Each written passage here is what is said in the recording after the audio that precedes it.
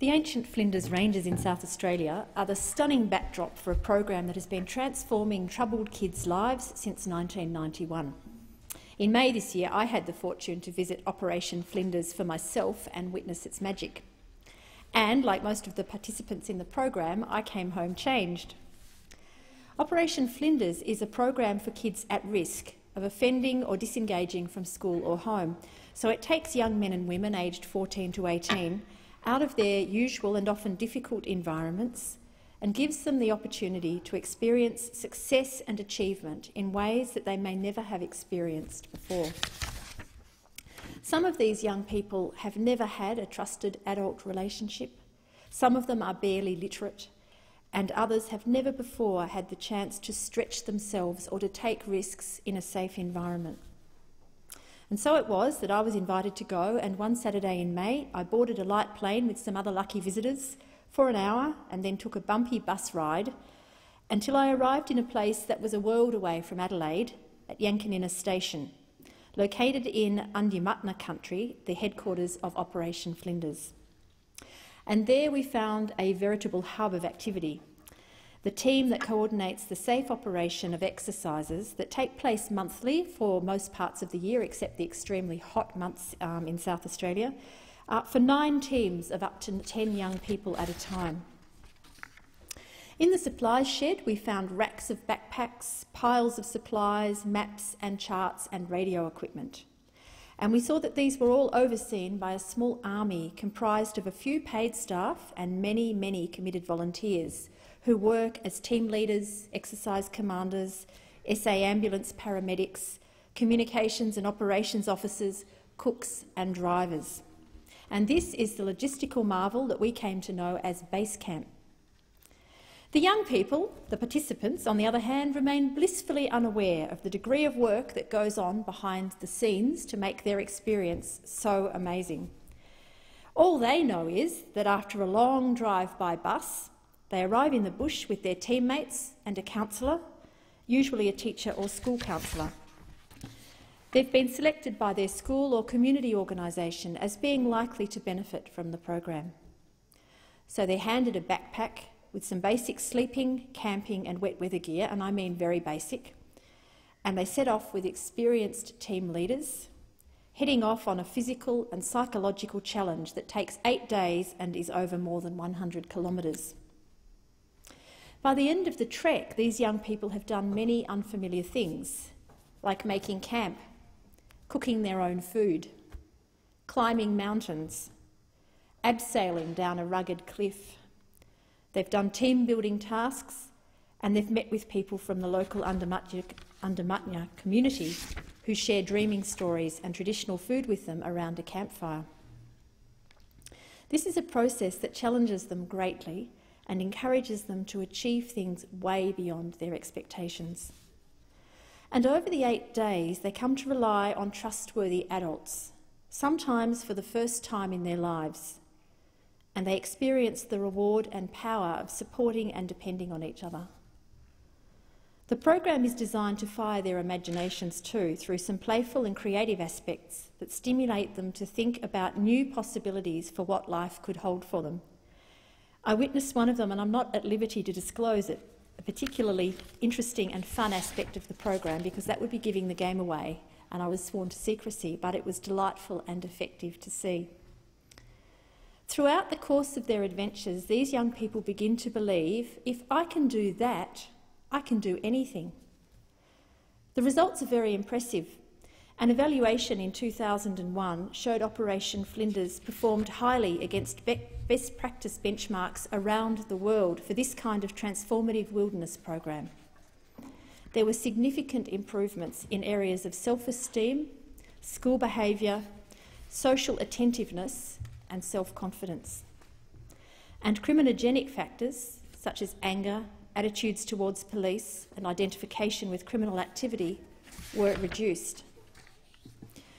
But academic studies aside, we visitors saw convincing evidence of the magic at work when we met some individual teams and young people who were highly enthusiastic, in fact even euphoric in some cases, about their experiences and what they'd been achieving in their team. It's important to emphasise that this is not rat camp or boot camp. I was struck by the overwhelming principles of respect and compassion that were reflected in everyone I met and all aspects of the operation.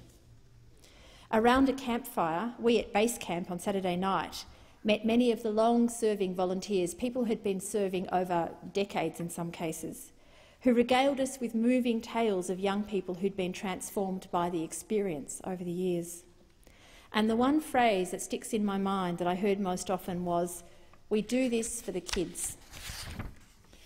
The program has a resident psychologist, Doug, who explained to me that the participants typically pass through four stages over the course of the eight days in the program. Initially, there's what they call a storming phase. They, are excited, they volunteer to do the program, but when they get there, it's extremely hard and it's like nothing they've ever experienced before. So they complain about the physical aspects and they rebel. They're not used to taking um, its instructions. They're not used to accepting authority. So they rebel and in some cases they try running away. The next phase is what is called the norming. So that was the storming, then there's the norming, which is really just a period of a few days where they adjust and they start to understand that these are the limits and this is what they need to uh, undergo.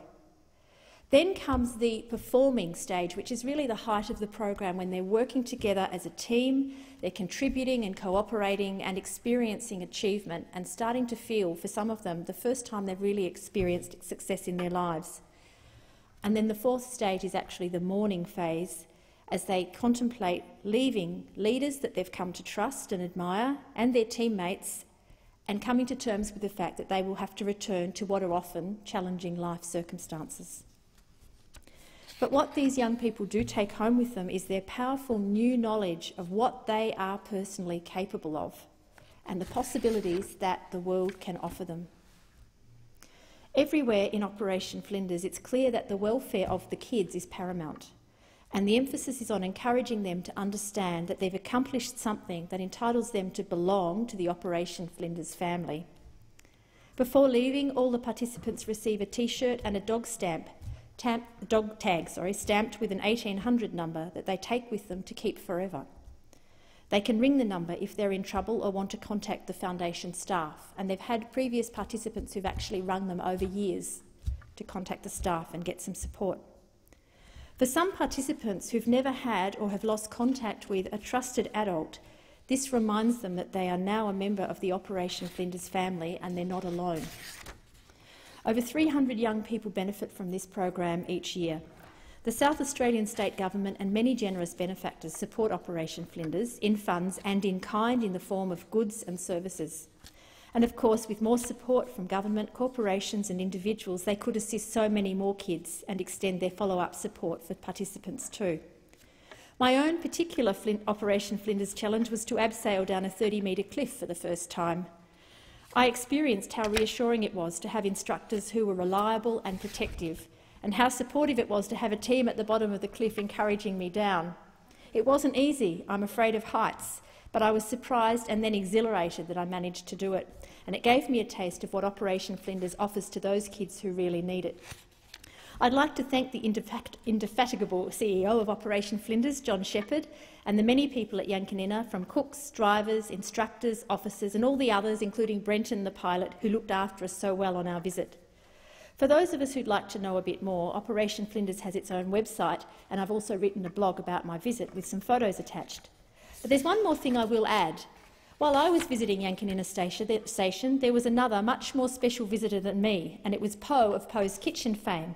Poh was there to actually experience the trek with a group of, uh, of the young participants, and she didn't um, cut any corners. She actually experienced the highs and lows, and in the process, uh, one of her programs was made, which will be airing on ABC TV on Tuesday, the 9th of October at 8 p.m. I understand from what I heard that it was a challenging experience for Poh, but one that in the end was extremely rewarding, and I'd encourage people to have a look at that program to get a better understanding of how Operation Flinders operates and the transformative experience that it can offer to the young participants, not to mention the uh, celebrity chefs that take part in it. Thank you, Senator Wright. The Senate now stands adjourned and will meet again on Tuesday, the 9th of October 2012 at 12.30pm.